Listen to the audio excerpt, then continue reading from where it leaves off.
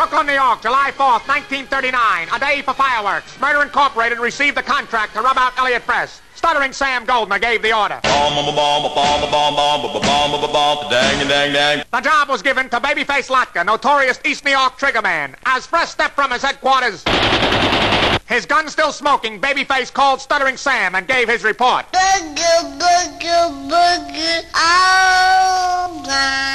Hearing the good news, Stuttering Sam rewarded him with Gangland's highest tribute. You're my baby blue. But Elliot Press was still alive. Murder Incorporated took care of Babyface. New York police found his body buried in. A hundred pounds of clay. The following day, Canary Cone, another killer disguised as a messenger, delivered a small package to the home of Elliot Press. As the door opened, Canary sang. This is dedicated to the one I love.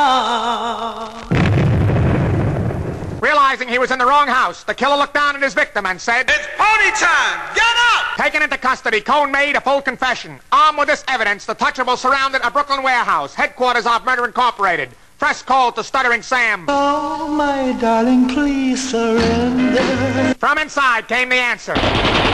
After a brief gun battle, Stuttering Sam stumbled from the building, screaming, That's it.